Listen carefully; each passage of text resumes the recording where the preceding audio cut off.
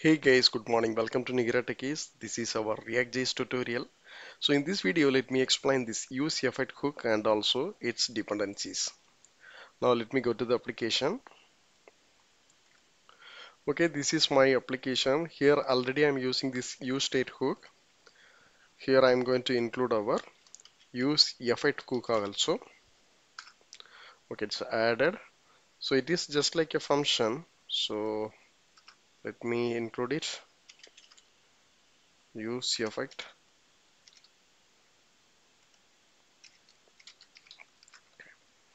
So okay it's fine. So basically this use effect hook is triggered if there is any state changes or else any rendering happening in our application. It will be executed automatically. So let me include one console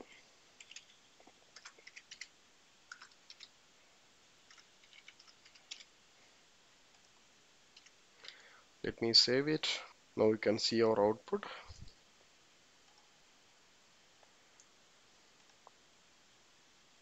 So let me refresh once again. So you can see this uh, use effect text. But the thing is it's loaded two times. One is loaded from our initial rendering of all the things and the second one is loaded why because in our index.js file. So we are using this strict mode react.strict mode so basically it will check uh, any errors or else any warnings. So that's what it's calling two times. So it's not going to create any performance issue. Why? Because uh, it's working in our uh, development mode only. Uh, if you are uh, hosting in this server it's not going to execute anything okay? So now let me move on our concept.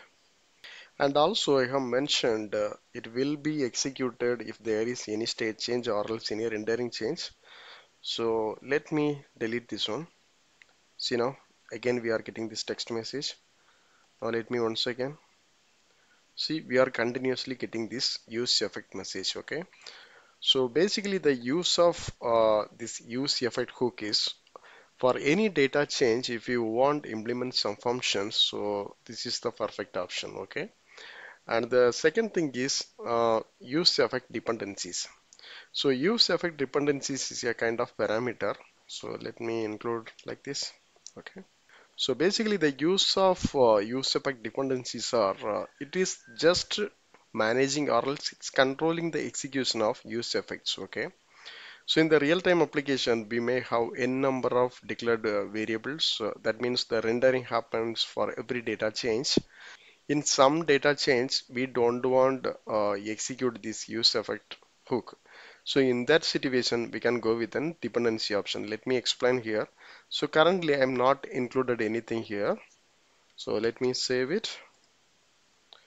I'm going to clear all the console so initial time it's loaded okay the use effect test is coming I'm trying to delete this one see the rendering has changed that means the state value has changed but we are not able to see this console message because it's not executed okay? So if I need to execute this one I have to include this variable into our array. Now let me refresh it once again. So initial time it's loaded. Now if I'm trying to delete see now? So it's executed continuously now I'm going to declare one more variable here. So the variable name is header. And the function name is head change. So it is actually an array. Then I have to use this use state hook. Okay. Here I can mention the value. React class. Okay so this is the initial value. Now what I'm going to do so in this delete function so let me command the existing code. I'm going to change this into just react okay?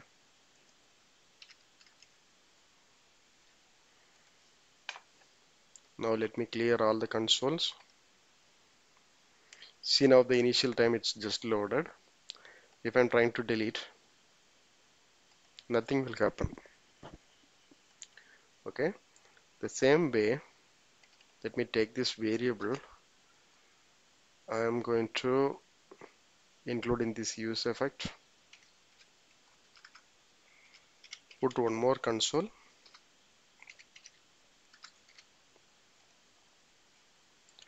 Here I'm going to put this header let me save it. I just refresh so you can see the initial time it's loaded. Now I'm going to click this delete button. Okay uh, the use effect is coming and this text also look like it's changed. Now I'm going to delete it once again. So the new value is coming. So when I'm clicking the second time I am trying to update this react test. The same text once again I'm applying. That means there is no data change so if I'm clicking many times also so this text only it's coming many times but this execution of our use effect it's not happening. Okay this is all about this use effect video. Still if you have any doubts or clarification please post in the comment box. And also please don't forget to subscribe my channel. Thank you. Thanks for watching